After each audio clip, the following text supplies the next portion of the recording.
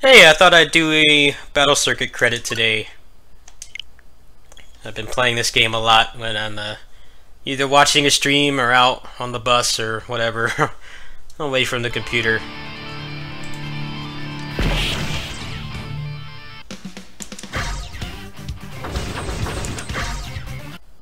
I think my best was like 6 credits, but I actually had the extends on uh, something that wasn't default, so it actually isn't here because I didn't I didn't back out of the game and save.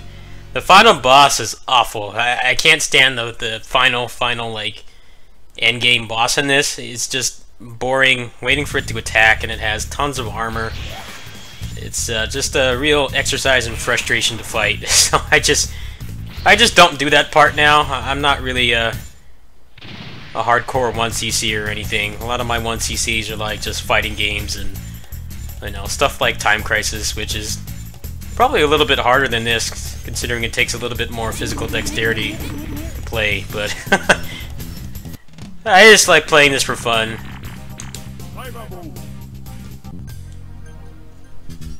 I'm gonna try to get through the first two levels here on one credit.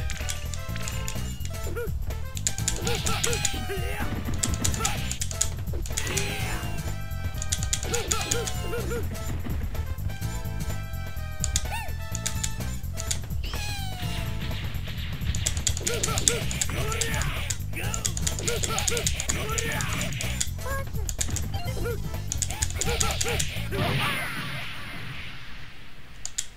most annoying thing about this game is the bosses pretty much just require you to wait until you have a chance to attack them. You can't really be aggressive in this game. The only way you can really be aggressive is with a trick that I'll show off. I kind of stole off replay burners. Basically, when you do your Super Joy in this, when you do it like this, you actually get invincibility after, and you can kind of use that to mount an offense. And it doesn't take any health as long as you don't actually make contact with something.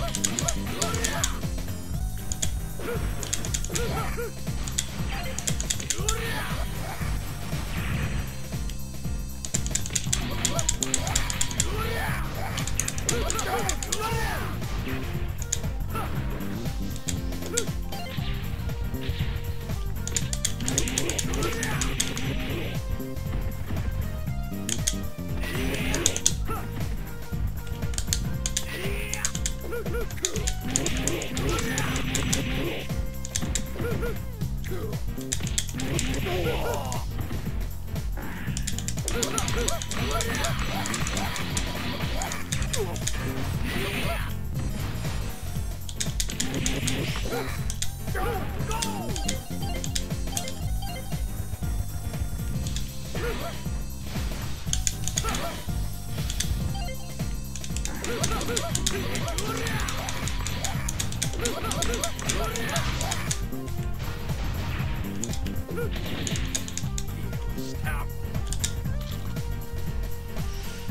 I gotta fight Elvis. Elvis is a pretty good example of uh, my complaints with the bosses in this game.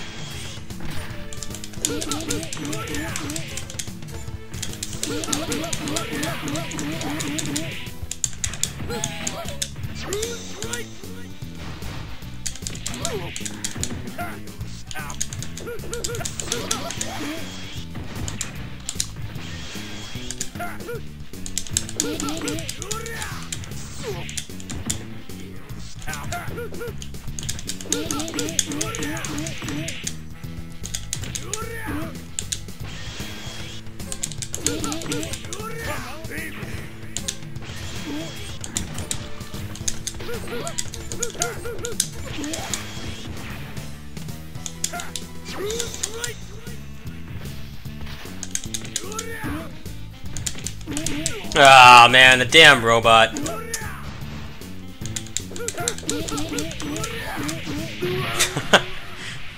Oh well. Got there on one credit. I think the farthest I've gotten is like pretty much through the third level on one credit. This game has a lot of cool systems. It, it's just like, it's not really a, a, widely known game because it came out pretty much around the time when arcades were declining and I don't think I ever saw a cabinet of this. I frequented many, many arcades in my younger years, and I have never seen this out in the wild. around this time, you know, you had like the the Marvel series and stuff were out, and a lot of the arcade distributors or owners were far more likely to spend money on that because it was on the same hardware, and it probably makes way more money than this does. I mean, this is actually it, it's kind of like a uh, a pretty like lax like beat 'em up because it has you know there's the upgrade system. You can actually increase your health bar. You can even buy extends as well. You, you can't get extends. Yeah, go ahead, ahead and uh, save here. I'll show you the default settings.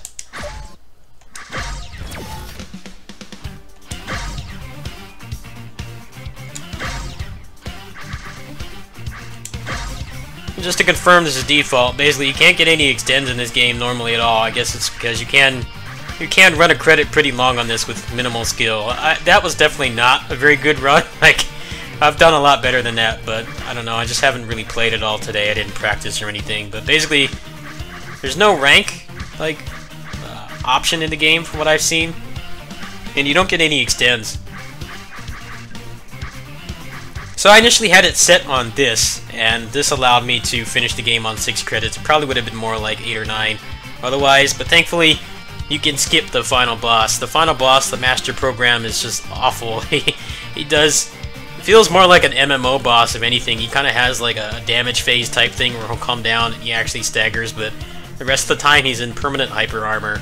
It's no fun to fight, but luckily they make it optional. You fight the other guy and then you get the chance to just remove the Shiva disk from the system or whatever, and that just ends the game. So it seems like most of the people who do like one CC attempts, they actually include the master program because it's you know it's pretty much all the game content. There are no other deviations in the path at all beside that. But I just don't like fighting that boss. It's boring. It's drawn out. It's definitely uh, amplifies. Or it's a good example of like how like frustrating the bosses can be to fight if you like to play quickly. So, I think I'll uh, play a little bit as the other character. I have nowhere near as much practice with this character. I've really only played as these two. I will say that the D-pad uh, left Joy-Con on the Switch definitely makes games like this a lot more enjoyable to play.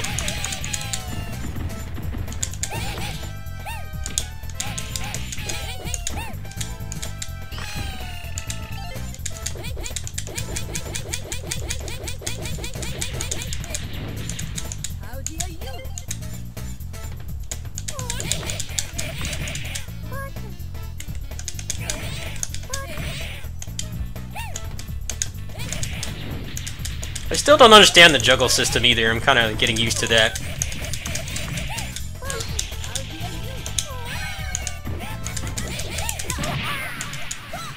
Her Super Joy has seems to have less range than the other characters, so it's actually a lot easier to kind of get those free iframes with her.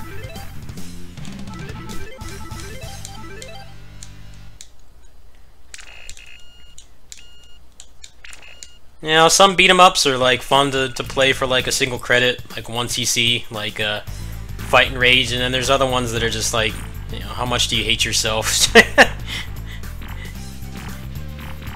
I don't know where this game really uh really falls there. I think it could be either way, honestly.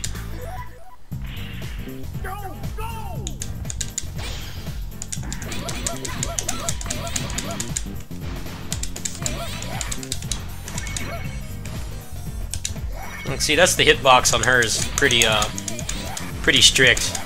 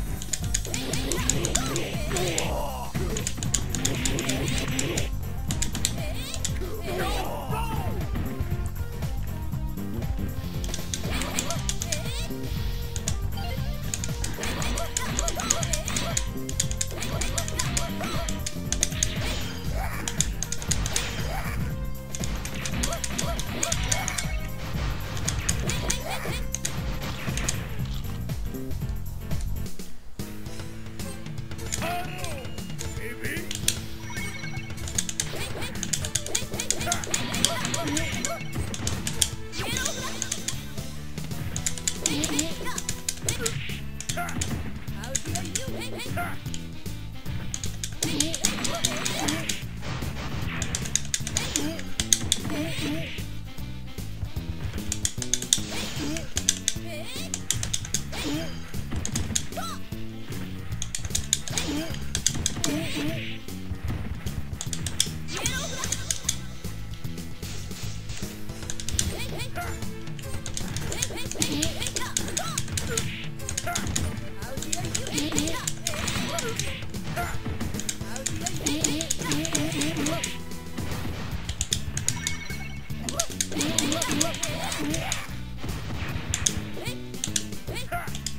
Can't Super Joe anymore.